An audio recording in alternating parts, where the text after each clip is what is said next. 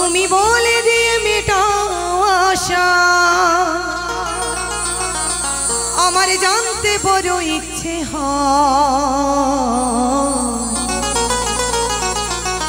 বলো দয়াল, কি কারণে কৃষ্ণ কালো হ আমার প্রথম জিজ্ঞাসা।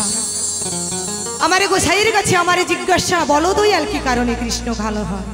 আমরা কিন্তু সকলেই জানি কৃষ্ণ কালো। কিন্তু কিসের জন্য কৃষ্ণ কালো হয়েছে? তাই আমার গোসাইয়ের কাছে আমি জানতে চাই। হ্যাঁ চলো।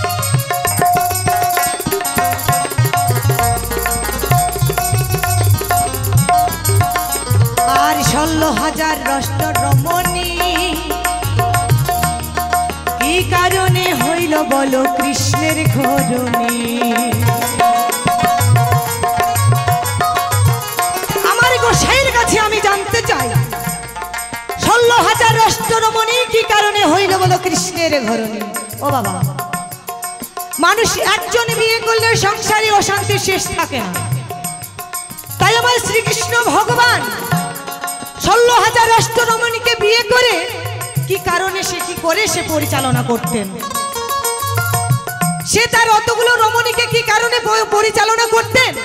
তাই আমি আমার গোসাইয়ের কাছে জানতে চাই। হ্যাঁ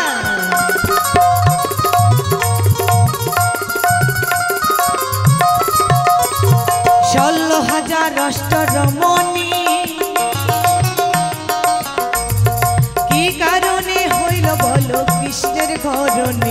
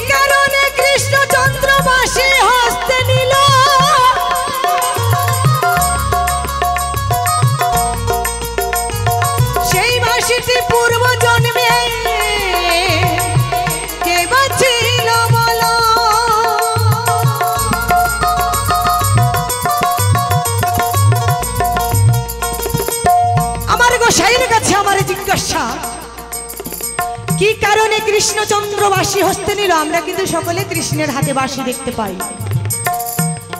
আমরা যে কৃষ্ণর হাতে বাসিটি যে দেখতে পাই, সেই বাসির মধ্যে কয়টা ছিদ্র রয়েছে? এবং সেই বাসিটি জন্ম হলো কোথা থেকে? আমার গোসাইয়ের কাছে সেই জিজ্ঞাসা আমি করতে তাই সেই বাসিটি জন্ম নিল কোথা থেকে? তাই সুন্দরভাবে একটু বুঝিয়ে দিয়ে যাবেন কেমন হ্যাঁ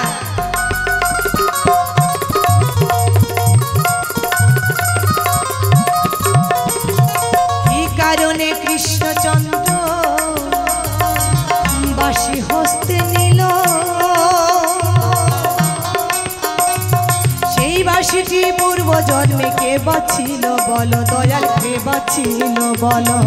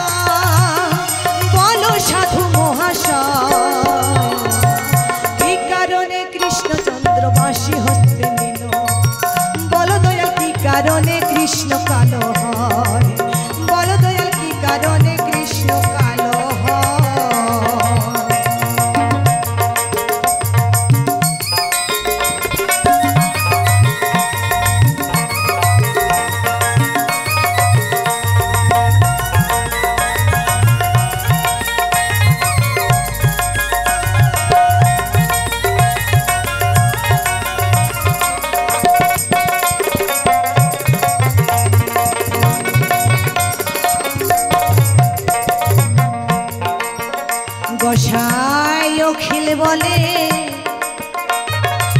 কেমন করে কৃষ্ণ কালী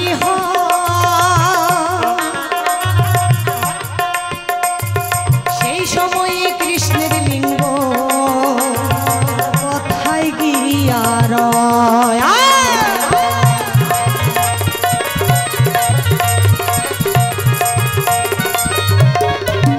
আমার গোসাইয়ের কাছে আমার জিজ্ঞাসা, যখন কৃষ্ণ লিঙ্গকে কোথায় রেখেছিলেন আমার গোসাই রখিল বলে, কোন সময়ে কৃষ্ণ কালো হয়েছিল আর কোন সময়ে তার লিঙ্গকে কোথায় রেখে গিয়েছিলেন? তাই আমি আমার গোসাইয়ের কাছে জানতে চাই। হ্যাঁ!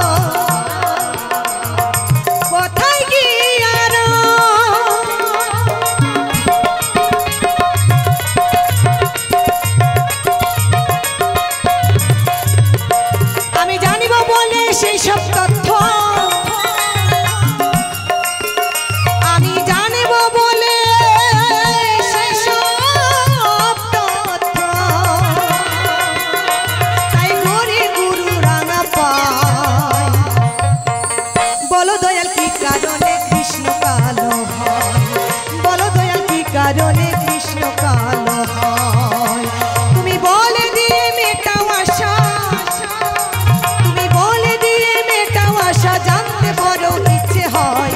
বলো দয়াল কি কারণে কৃষ্ণ কালো?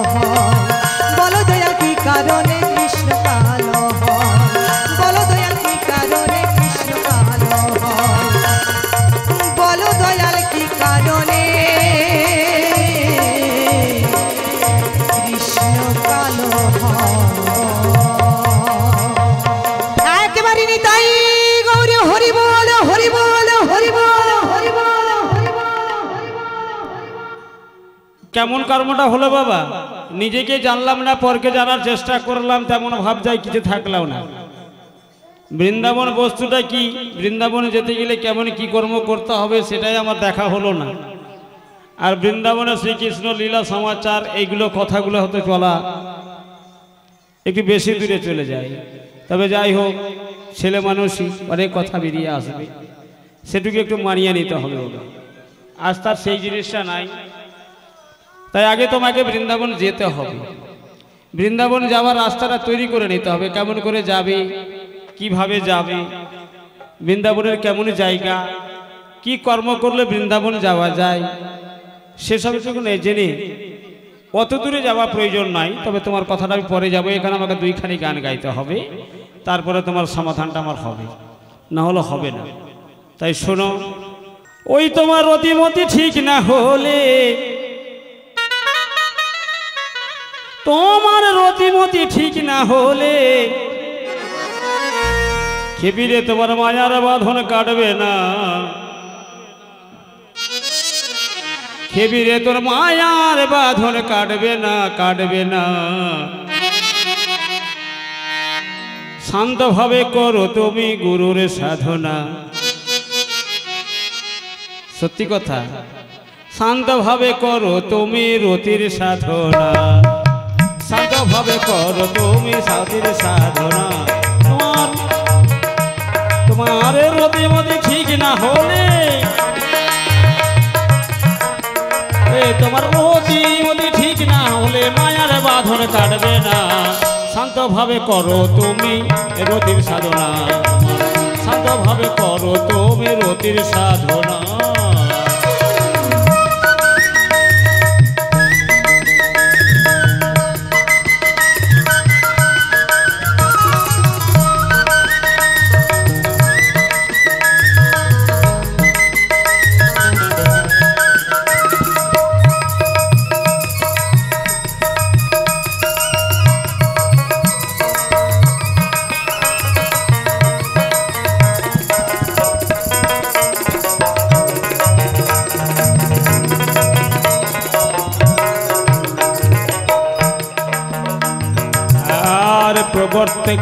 কাজ ঠিকই করো। পঞ্চতত্ত্বের সাধন জানো।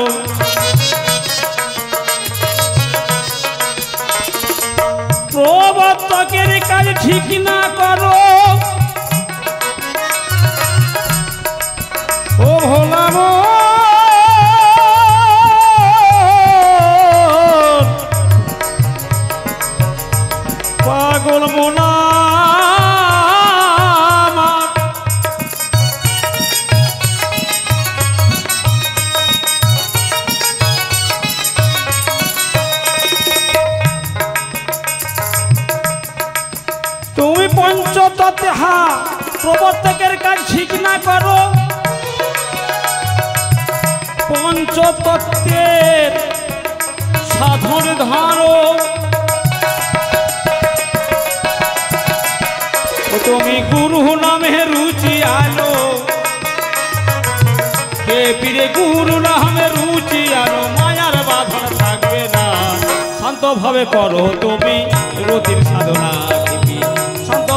করো তুমি প্রতি সাধনা।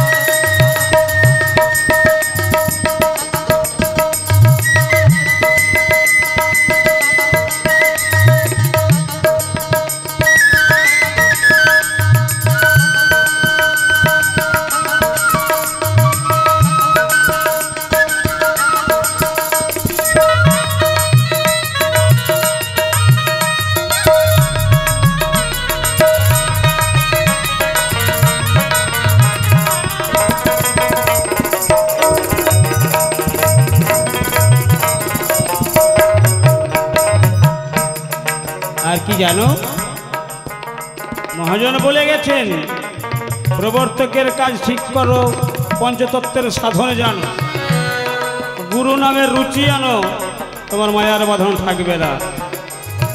সেদিন তুমি বৃন্দাবনে যেতে পারবে। আর কি হবে জানো? প্রবর্তকের কাজ ঠিক না হলে ঠিক গিয়ে মায়ার পাশে। প্রবর্তকের কাজ ঠিক না হলে ও ভোলাম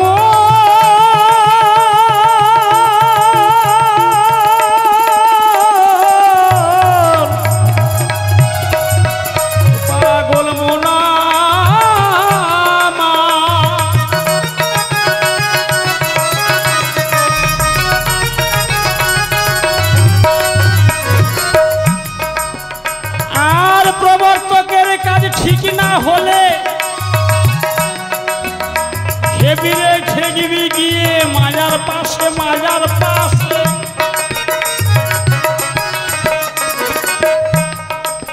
ওই আমার গিয়ে মাজার পাশে। তোমার গিয়ে মাজার পাশে দিতে যাওয়া হবে না। শান্ত ভাবে করো তুমি গুরু সাধনা, খেপি। শান্ত ভাবে করো তুমি রতির সাধনা।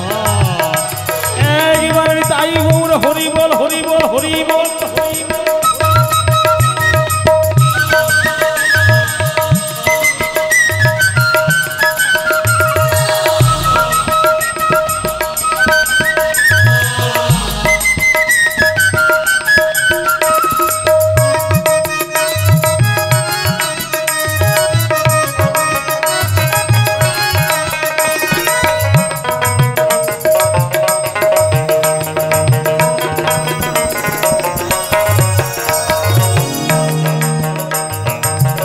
সাধকের কাজ ঠিকই করো।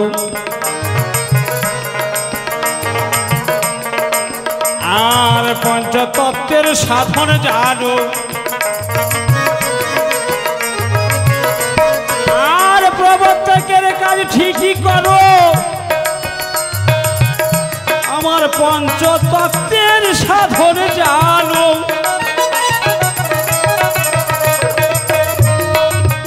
ওই আমার গুরু নামে রুচি আলো আমার গুরু নামে রুচি আনো, মায়ার বাঁধন থাকবে না। শান্তভাবে করো তুমি গুরুর সাধনা। তুমি শান্তভাবে করো আগে রতির সাধনা।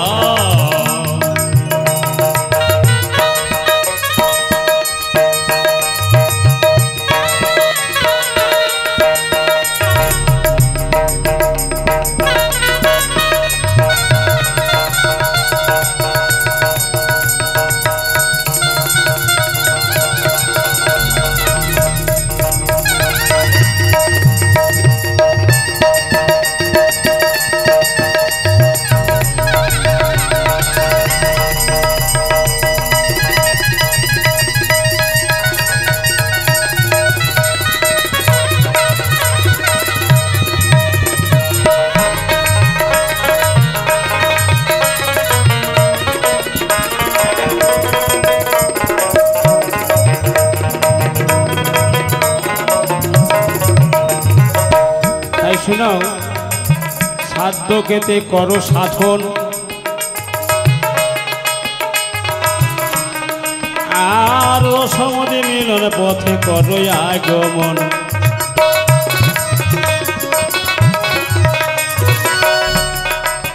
আর সাধকেতে করো গো সাধন। তবে করো হে আগমন।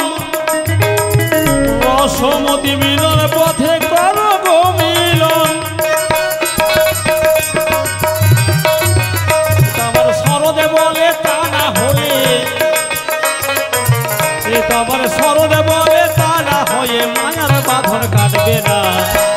শান্তভাবে করো তুমি রতির সাধনা। আমার শান্তভাবে করো তুমি রতির সাধনা। ও তোমার রসমতি ঠিক না হলে, ও তোমার রোদে মতি ঠিক না হলে মায়ার বাঁধন কাটবে না। ভাবে করো তুমি রতির সাধনা। আমার রথমতে করো তুমি রতির সাধনা। করো তুমি রতির সাধনা। আমার করো তুমি, রতির সাধনা।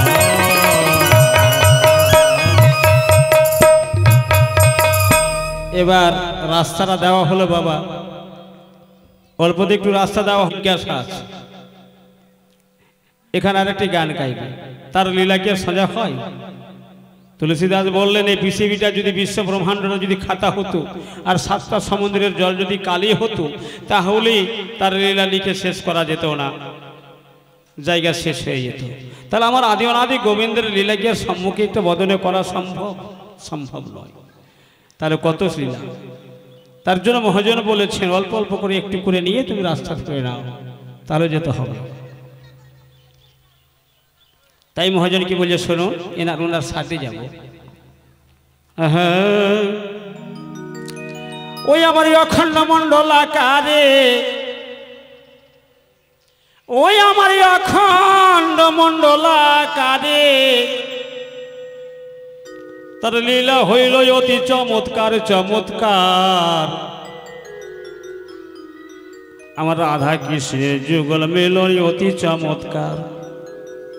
সত্যি গো, রাধা গোবিন্দের আবার যুগল মিলন এত সুন্দর, এত লীলা? বলা সম্ভব নয়। তার জন্য মহাজন বলছে, অখণ্ড মণ্ডলাকারী নিজে কে হইলেন সাকার। আমার আদি অনাদি গোবিন্দ নিজেই সাকার হয়ে গেলেন। তার জন্য গানের ভাষায় কি বলছে শুনুন? ওই আমার অখণ্ড মণ্ডলাকারে, ভগবান নিজে যে হইলেন সাকার, রাধা কৃষ্ণের যুগল মিলন অতি চমৎকার। অতি চমৎকার অতি চমৎকার, আমার অতি চমৎকার অতি চমৎকার। আমার অখণ্ড আমার এই অখণ্ড মণ্ডলাকারে যে হইলেন সাকার, রাধা কৃষ্ণের যুগল মিলন, অতি চমৎকার, আমার অতি চমৎকার অতি চমৎকার, আমার অতি চমৎকার অতি চমৎকার।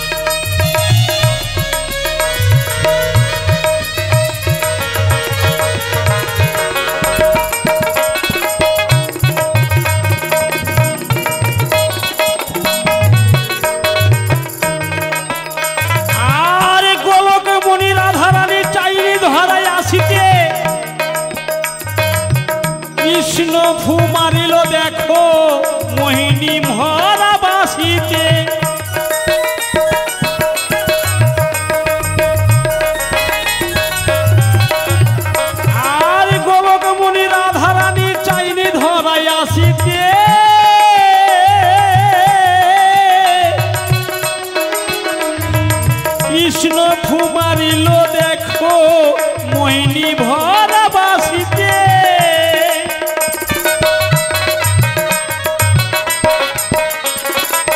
ওই আমার বিরজার কাছে রইল গোপন। আমার বিরজার কাছে রইল গোপন লীলা দাহার চমৎকার। মহাজন বললেন, রাধারানী চাইনি, গোলকমণি রাধারানী চাইনি ধরায় আসিতে। কৃষ্ণ ফু মারিল তার মোহিনী ভরা বাসিতে। বিরজার কাছে রইল গোপন। আমার রাধা কৃষ্ণের লীলা সমাচার। তাহলে কেমন কথা বাবা? তাই শোনো শোনো সোনা ভক্ত। করি নিবেদন। রাধা কৃষ্ণের লীলার কথা তোমায় একটু করিব বর্ণন।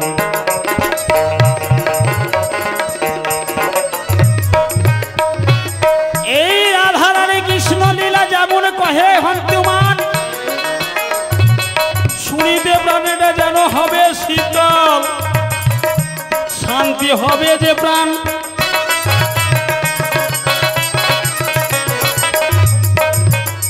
আমার কৃষ্ণ লীলা যখন হয়, কালী দহের তীরে,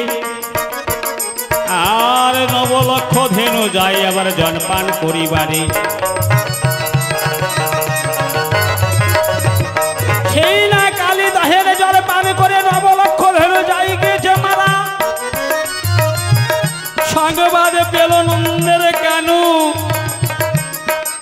যাই যে বলিয়া।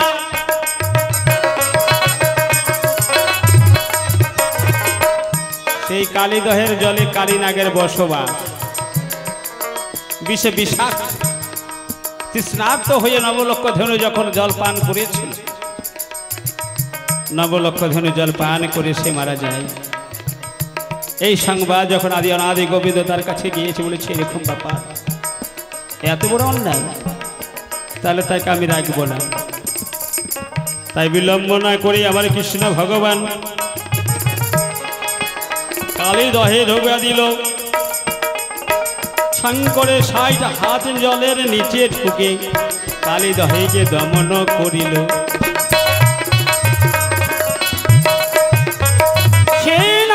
পেয়ে হইলে সাকার। বিষে বিষে প্রকৃতি হলো। কৃষ্ণের অঙ্গ হইল কালাসার এই কারণে এখানে হলো। বিষে বিষাক্ত হয়ে যখন গেছে সেখানে যখন দমন করে, তার অত্যাচার সহ্য না করতে কারিগর হাকার ত্রাহি ত্রাহি করে বলেছিল, ঠাকুর আমায় বাঁচাও। আমি কেমন করে মুক্তি পাবো? তুমি আমাকে বলে দাও, আমি তো অন্যায় করি নাই, আমি বসবাস নিয়েছি এই বসবাস নিয়েছি, আমার তো কোনো অন্যায় নেই ঠাকুর। তাহলে তুমি আমাকে অভিসম্পদ করো তুমি একটিবার পূর্বের সুকৃতি কথা মনে করে দেখো। আমি অন্য কেউ নই। আমি অন্য কেউ নই, আমি তো কার তার অভিশাপে আমি সর্পকুলে জন্ম নিয়েছি। আমার কৃষ্ণ ভগবান বলছে, সত্যি তো ইনি তো আর কেউ নেই। এ তো কালীরা এক সর্পকুলে জন্ম নিয়েছে, পূর্ব জন্মে ছিল সে চন্দ্রধ্বজ রাজা। কুষ্ঠ বিতাড়িত হইয়ে মণিকে অপমান করেছিল বলেই তাকে সর্পকুলে জন্ম নিতে হয়েছিল। আয় সে কালী রাগ হয়ে কালীদহে বসবাস করেছে মনের দুঃখে। তাই বলো, ঠাকুর, আমি কেমন করে মুক্তি পাবো? এই জনমে মুক্তি পাবে না, থাকবে না কালীদয়ে বসবাস না হো গিয়ে তুমি রমণী পেরো দিয়ে এই যুগে সংক্রমণ করার ফলে হইয়াছে আগমন। কৃষ্ণ ভগবানের অঙ্গ কালো হইল তোমার দিলাম গো প্রমাণ।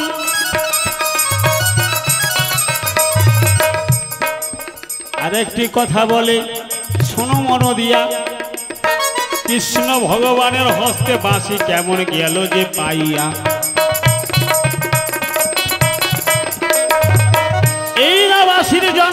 জন্ম হলো শোনো দিয়া মন।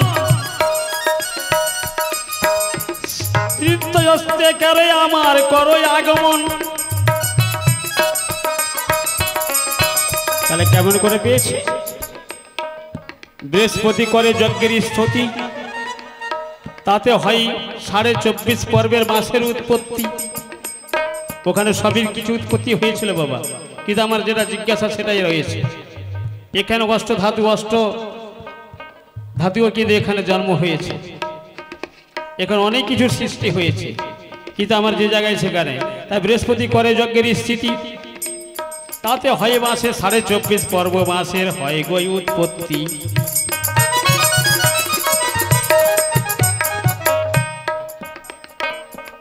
সপ্তম পর্ব হয় অবধনু।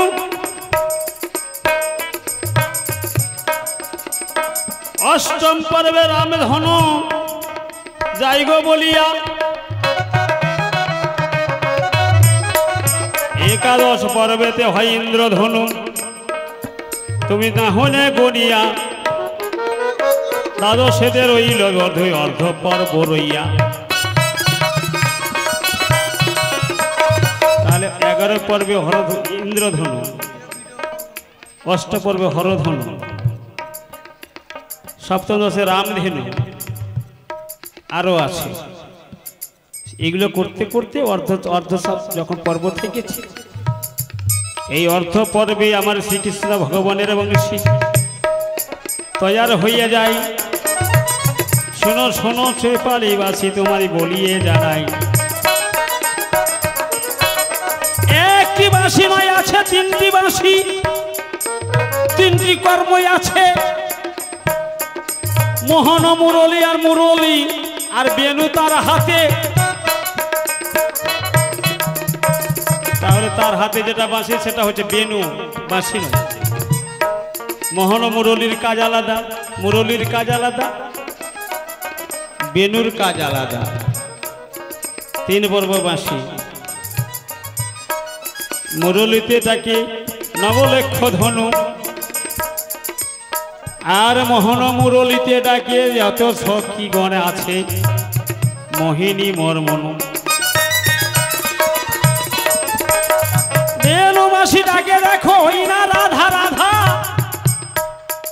রাধা নামে জগতে সাধা। বলে আমার ওই না যে তাহলে যিনি যাতে ডেকেছেন তিনি হচ্ছেন রাধা। সেটা বেনু তার হাতে বাঁশি একটা বাঁশি নয়, তিন খারাপ বাঁশি ছিল। কত কথা নয়।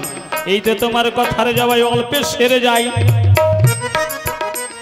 আর একটি কথা জিজ্ঞাসিল এই ধর্ম সবাই কৃষ্ণ যখন কালী হল লিঙ্গ কথাই ছিল, এইটাই এমন কেমন কথাই আমায় বলতে হলো।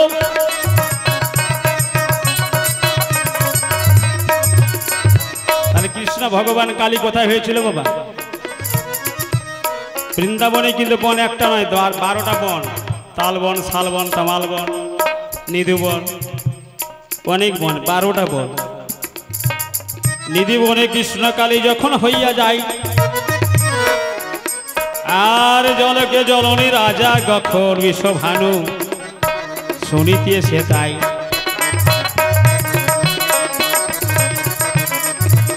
আমার শ্রীকৃষ্ণ ভগবান সম্পর্কিত আলাদা বস্তু। কিন্তু রাধারানীর সঙ্গে তার জন্ম। তাহলে কেমন?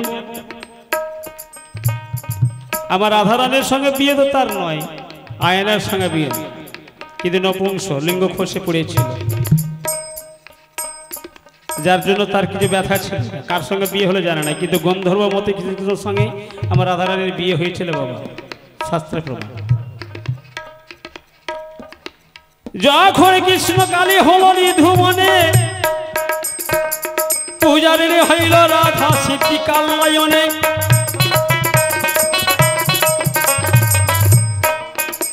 এবার পিছনেতে দেখে আমার জটিলা কুটিলা চাষরিন নদীর জ্বালা সহিব আমি, বলো কেমনে কালা? তাই তোমার কাছে কথা। অল্প রেখে যাই। রাধা রানীর দুইটি হস্ত পিছনে দাঁড়াই। তাহলে দুই রাধা রানীর দুই হস্ত আর কৃষ্ণের দুই হস্ত, তাহলে চারটি হস্ত। এই না করবে কালি হলো নিধু মনে ভালো। আরও কথাই আছে লুকাই তো নাহি বলা ভালো। এই তো তোমার কথার যাবাই অল্পে সাঙ্গ করি। প্রেম আনন্দ সাধুগণে বলবেন হরি হরি। কৃষ্ণর যখন এক বৎসর বয়স, রাধা জন্ম হলো। অন্ধ হয়ে জন্ম নিল কুর্তিকার উদরে ভালো। আবার শ্রীকৃষ্ণ ভগবান যে রাধারী এক বছরের ছোট বাবা, কিন্তু রাধারানী হচ্ছেন রাধারানী এক বছরের ছোট।